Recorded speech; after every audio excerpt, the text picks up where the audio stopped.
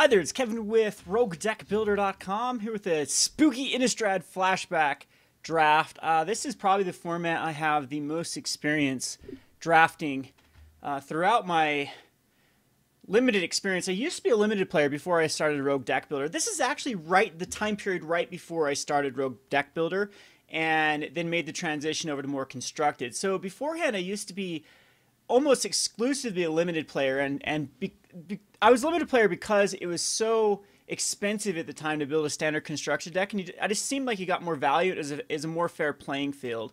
So right at the bat, we have the village villagers of Estwald. I love going green black. Green black is one of my favorite strategies. I also do like red. The rolling uh, Temblor is a very good card in this in this format. It can kill off a ton of uh, there's creatures with flying though, but you can build like a flying deck around it. Rebuke's also a really good card. Avacyn's Pilgrim. The Abattoir Ghoul has to be really answered. I think I'm going to go with a bump in the night though. No, I'll go with the Abattoir Ghoul.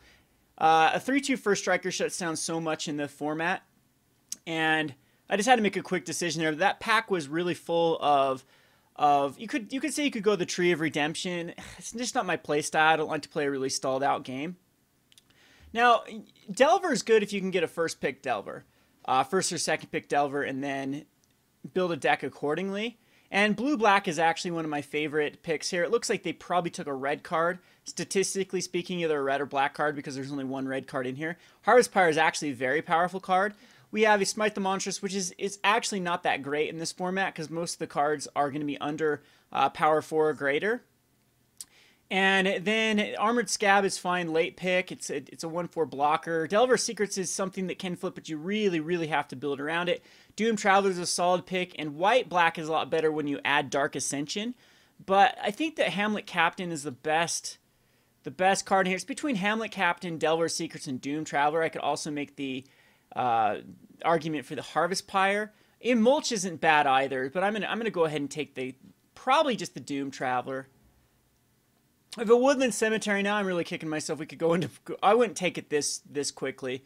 Uh, Brimstone Volley or Invisible Stalker, both of them are, are extremely good. Invisible Stalker is probably the best uncommon to pick in the entire set because you can hook it up with a lot of a lot of cards. I think it might be. I can't remember where Spectral Processions is. If, that, if that's where Dark Ascension comes in a, in a, in a, into. Uh, but there's like Furor of the Bitten. You can put on Invisible Stalker. Now I'm really wishing I would have taken that that Snapcaster Mage, but it's this is a this is a tough pick. The Dark Thicket Wolf is really good. The uh, Feeling of Dread is extremely good. The Torment Pariah is not bad. The Brimstone Volley is just an all-star. I think that when in doubt, geez, I don't want to... Blue looks wide open if they're not taking an Invisible Stalker, though. The good news is we have three solid picks so far. We have a bump in the night that could... Black-Red is a really good... A really, really good... And there's the Furor of the Bitten right there. See, that's... I think I'll just take the Invisible Stalker. It is a incredibly, incredibly powerful card, especially if you get multiple, you can just build completely around it. Have a Clifftop Retreat, Typhoid Rats, Night Terrors is okay. The Makeshift Mauler is extremely good. It's you only have to exile one card. But then we have the Moon Heron, which is very tough unless they're white to deal with. And there's also Feelings of Dread. We could actually go the white-blue. Uh, Feeling of Dread's Invisible Stalker. There's the Furor of the Unbitten, like I said, that, that hooks up perfectly with the Invisible Stalker. We have a Scourge, which eh, it's okay. I just think that the the best pick here is just going to be a Moon Heron or a Makeshift Mauler. And I think I'm going to value the Makeshift Mauler just slightly over the Moon Heron. And Feeling of Dread's a fine pick too. But it looks like blue is wide open if they're allowing me to have you see there's a Stitch Drake too, but I think Diregraf Ghoul might just be a little bit more powerful. I just I haven't quite decided what we're gonna what our second color is gonna be. The victim victim of night is okay in the format. It kills a bunch of creatures, uh, humans. Can't kill a zombie, werewolf, or vampire. So it's about 50-50 of what it kills. Kills spirits and humans in this format and any other like beast or spider. Somberwald Spider is actually an incredibly good card. It becomes a 3-5 with reach. And Stitch Drake can just, it's sometimes be hard to cast, but I think Stitch Drake is just going to be the best card in here now that I know we're going to go into blue. Seems like blue is extremely wide open. And now when I say that, where's the blue? it's completely gone out of this, eh, this, uh, this pack. We also have a Corpse Lunge in here, which isn't bad, a Boneyard Worm. Uh, Bony Orb's a little bit hard to get going. This pack's actually pretty weak. Uh, Cobbled Wings isn't bad when you get the zombie strategy, like the, the makeshift maulers. Disciple of Griselbrand can actually save you versus aggro decks. I just think it's the Corpse Lunge, and that's that's a pick I'm not too happy with. So Victim's fine here. We have a, Mar- a Markov Patrician that's fine here. The battle the Battleground Geist is also okay. It is a 3-3 flying for 4. I, I do like the, the Markov Patrician, though. It's usually never... It's bad versus, like, Doom Travelers and other 1-drops. Um, but the Stitch of the Apprentice is also pretty good because you can sacrifice any creature that's going to die. Like, it, it helps you against removal. But I think I'm to just go ahead and take the Victim over both of those. I think we want removal at this point. Mask of Avacyn can basically turn your guys into more invisible stalker-ish type cards. It's actually not that bad of a card equipment-wise. Um, Lost in the Mist isn't bad because you can counter and bounce. The Stormkirk Patrol can get out of hand really quickly, but I think it's like Unruly Mob that we're going to take because I haven't 100% dedicated into uh, Vampire is not bad either. I've been, I know I'm going blue. I think that we have a powerful blue strategy, and both the Thraben Cent- uh, Sentry and Unruly Mob, but I think Unruly Mob's just a little bit better. So here we're still we're still wide open to, geez, the Bump in the Night came all the way back. This is this can be a very aggressive card. Dissipate's fine. It's just a counterspell. I, I tend not to like counterspells. I think that the most powerful card here is either going to be Rebuke or Typhoid Rats. And again, I just don't know exactly what I think that I'd rather go white than black at this point. I don't know. What we'll see. We'll see exactly.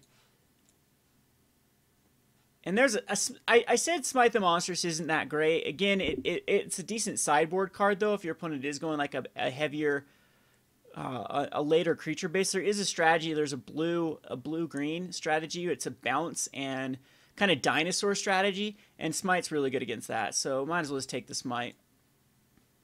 And here, here I think I'll just take the Furor.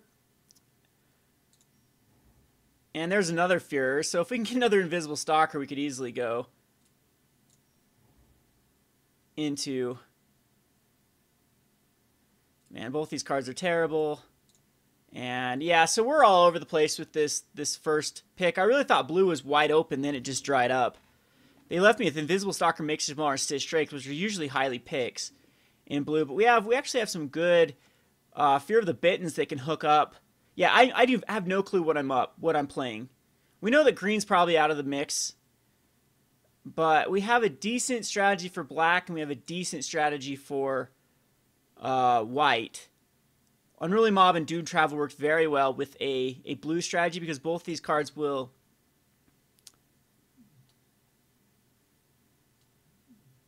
they come out early. They they they're aggressive.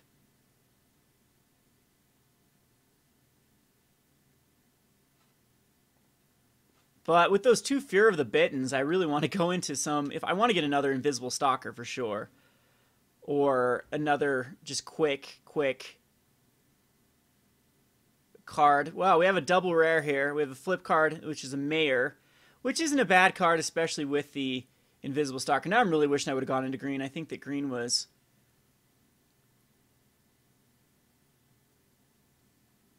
a very wide open at the start did dry up there at the end, or just maybe didn't have the, the best cards. So here we have another makeshift Mauler, which I do think is the most powerful card. The cat the cackling counterpart puts a token on the battlefield with a copy of target creature you control. It's just two situation. It is instant speed, but I, I, just don't like it in a limited format. It does have flashback for seven. The mayor is a very powerful card because it is all humans you control. Uh, plus almost one, and then it flips, and then you can start putting out it is this is so hard. I, I don't think I can pass up a mayor. It's just a backbreaking card in, in limited. We have the Geist Flame, which is fine for this strategy, and another makeshift Mauler. And Into the Maw of Hell is good. Basically destroys any creature and a land, so you get two for one. The black is lackluster in this, except for the Umbrella Rise is okay with the white strategy. And the white is actually pretty bad with the Gallows. So I hate taking a a mayor, but there's really nothing else that I think we needed too much in the deck. We have either Stitch Drake or Burning Vengeance can actually be pretty good if you get enough flashback cards. It's where you, you need I think that you need Dark Ascension to really capitalize on a lot of the flashback cards. We have two awesome, awesome, awesome, awesome. Um, geez, we have a Splinter. Splinterfright actually works with our strategy. But we have two great red cards here in the the the Watchkeeper, which is a one five defender, but it flips, it becomes a five five. And the Blood Crazed Neonate is just a very quick, aggressive card that has to be has to really be answered, or otherwise it's going to get out of control. And then we have another Stitch Drake, which is just phenomenal. I think I'm, I, Splinterfright really works well with a makeshift Mauler type strategy because it, it basically guarantees you have cards in the graveyard for Stitch Drake.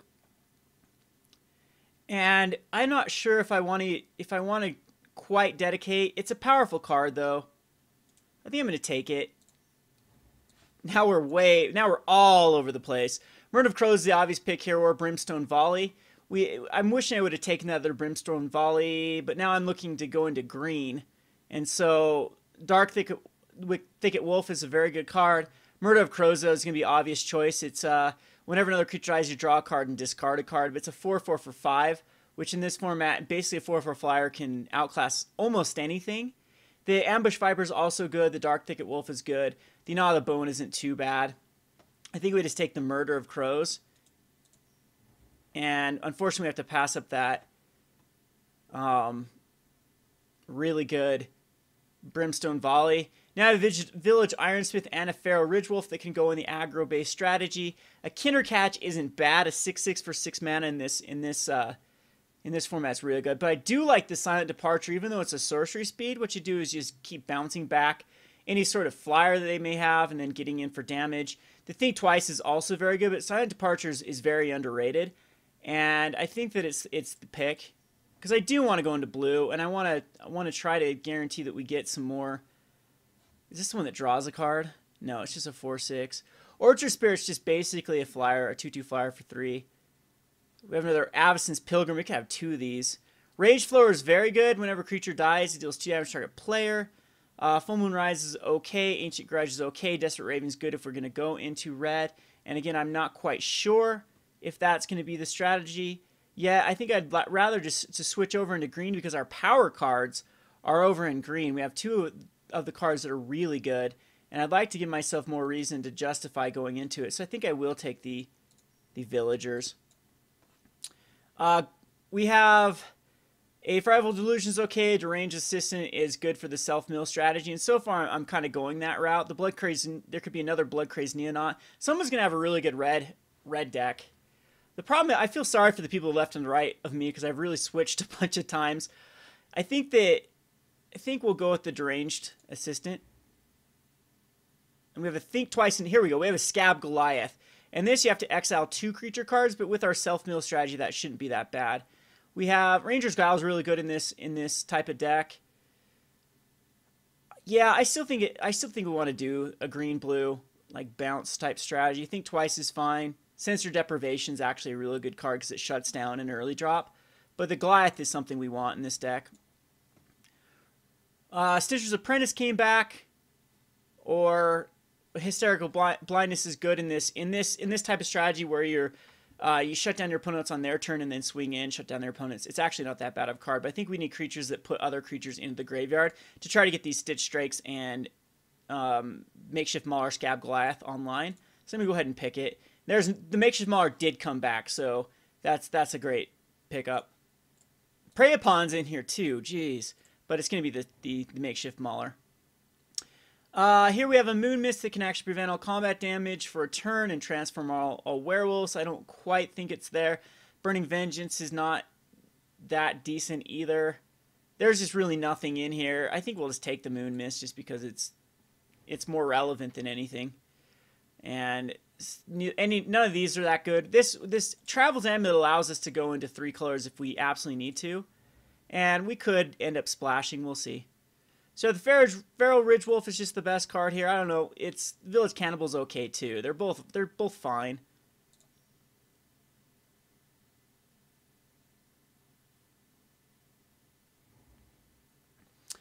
And if we have to go defensive, we can go defensive with the Grave Bramble. I think we'll get another one of these here. There was a ton of those going around.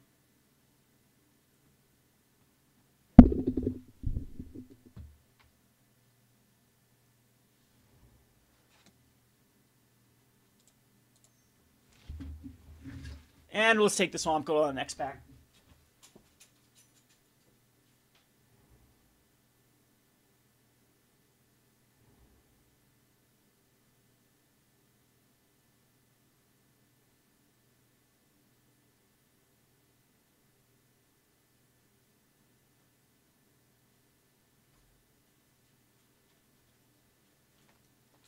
Alrighty, so in this pack we have an Army of the Damned, which is okay. It's hard to get up at 8 mana. We have another Stitch Drake, which I really think that we want.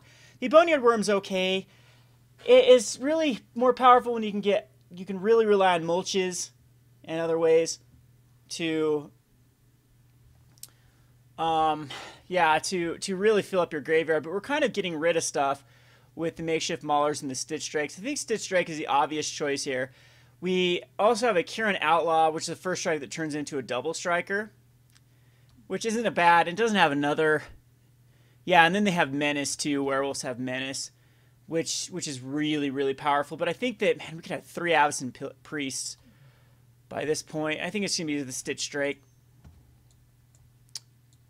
Forbidden Alchemy is fine here. It puts enough cards in our graveyard. We have the Mulch though, which I think is what we need, and the Woodland Sleuth actually not not a bad. I hope this somehow comes back. One of my favorite strategies is going the route of the peasants with just a ton of one, uh, one and two drops from red and red and uh, white. So it's between Forbidden Alchemy and Mulch, but I think Mulch is just a little more powerful in the deck we're trying to play. Well, I don't know. I actually don't know which one is better.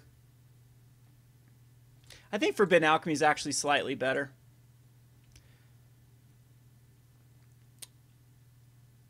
Armored Skaab is not what we want. Spider Spawnings. Yay, we're actually going to splash. This is an incredibly powerful card. Uh, we are exiling a ton, though, so it's kind of like a non-bow. We have nothing to hook up the Invisible Stalker so far.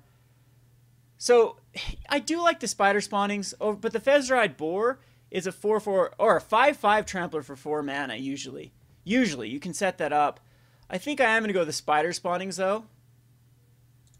And I think we're definitely into green. Could have three brimstone volleys. That's that's insane.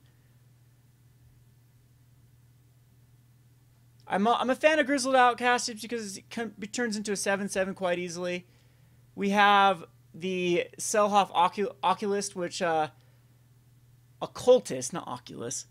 Uh, Occultist. Sel Selhoff Occultist is really good for self-mill, which our deck does want but I think we'd rather have a grizzled outcast over it. And we also have a, a, a hollow a Hollowhenge scavenger, which gains us five life. It's almost like a Thragtusk, But the Mirror-Mad Phantasm, I don't know. I think that it's not that. A 5-1, I think I'd rather have the Hollowhenge. I'm not sure. The Mirror-Mad's a 5-1 for 5, and you'd have to get two of them to really make it worth it. And so I think I will take the scavenger.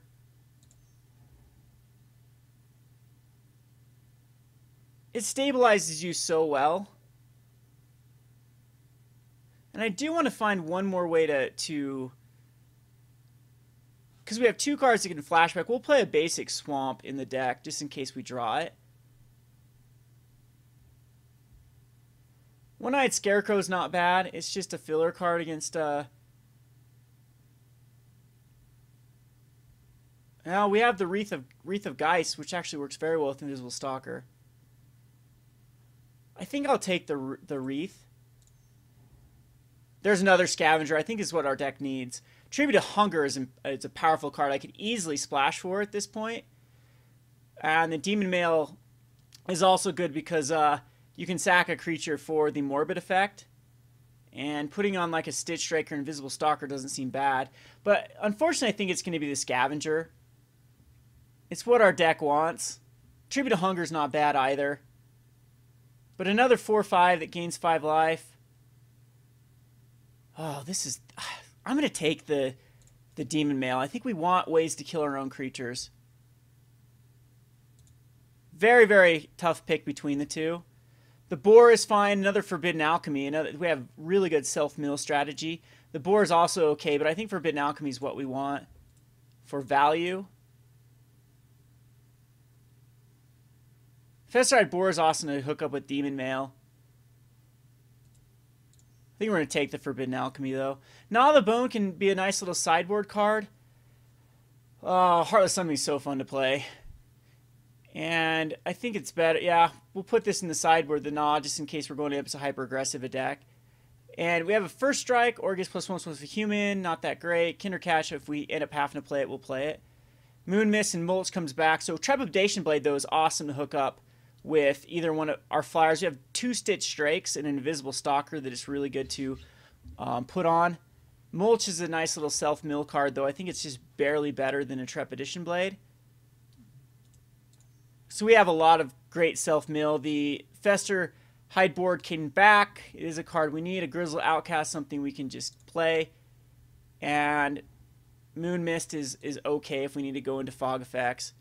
And I, I'm, I'm pretty happy with this pack. I'm pretty happy with how the draft ended up. I know that we could have had like I think there was like two bumps we could have taken. No, I think we would end up with one bump, but we could have had a whopping three brimstone volleys, which is just an insanely good card in limited. But this is this is a pretty good strategy, the green blue, because it covers all of your bases. You're gonna outclass all of your opponent's ground creatures with your with your green, and then you're gonna have nice flyers. Especially you're gonna outclass the, with Stitch Drake. Stitch Drake is gonna be bigger than most of the flyers in the format.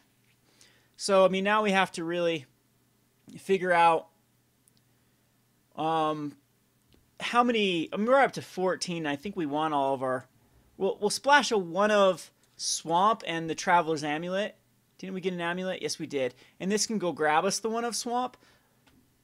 And now the Bone can come in against hyper aggressive decks. I think we don't even need the the scavenger unless we go up against hyper aggressive uh, decks either. The wreath I think is worth putting in here because there's a there's a few cards that I think it combos off really well with. And then the Festerhide Boar, that was a great pickup way late. And I actually like the Villagers.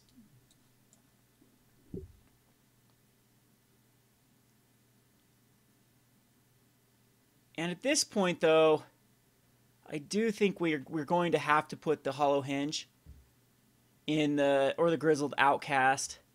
I just think the outcast is just so slightly better than the Hollowhenge. I might actually end up going with both of them because we basically are already playing 17 lands with the Traveler's Amulet. And we have a Mulch. So we can easily play both. I think, I think, th- oh, we already have one land in here somehow. Oh, a swamp. There's the one of swamp. So we'll still have 17 lands. Don't think we want to splash for like the ghoul the Abattoir Ghoul or a Corpse Lunge. Gnaw's fine. I think that playing 17 is fine. We're going to be milling ourselves quite a bit. Uh, I don't think we quite want the Kinder Catch. Yeah, I'm happy with how this how this worked out. Not as many evasive creatures as I would have liked if we could have got that that third Stitch Drake, but I think it was over the Mayor, right? That's what we picked over the Stitch Drake. So we have two little pumps. I think that's perfect. We'll see one uh, about 50% of the time, a little under 50% of the time. We will see a a pump spell. Maybe more silent departures. We have very little control in here. Yeah, very little. We need to go over the top of our opponent. We have a nice, nice uh, self-mill type strategy. And I think we want to make sure we hit an island. So we're going to go 10 and 6. Yeah, that's fine. And I'm going to submit this and see how well we do, which I think we'll do fine. We have a lot of ways to dig for what we need. We have two makeshift maulers, Festerhide Boar, the Grizzled Outcast, all these things that can clog up the, the ground game. And then we do have like the Splinterfright and the Invisible Stalker even if the Festerhide Boar with Trample to be hooked up to a pump spell and really get the job done. Even Scab Goliath. So I'm I'm definitely okay with this. I've, I've it, it's it's a strategy that I usually like to get more of the silent departures or more of the other ways to bounce. But I've had worse. I've I've had definitely had worse uh, drafts in this. We got we got the the spider spawning, which is just an absolute blowout. And that if you can get enough creatures in the graveyard, Uh, you get a 1 2 green spider creature token with reach for every battle for each creature in your graveyard, which we have 15 creatures in our deck. We're going to be self milling. It's going to at least get, I don't know, like four tokens, I would say. We'll end up submitting this. All right, we'll see you in the games. This is Kevin with RogueDeckBuilder.com. Thanks for, thanks for watching.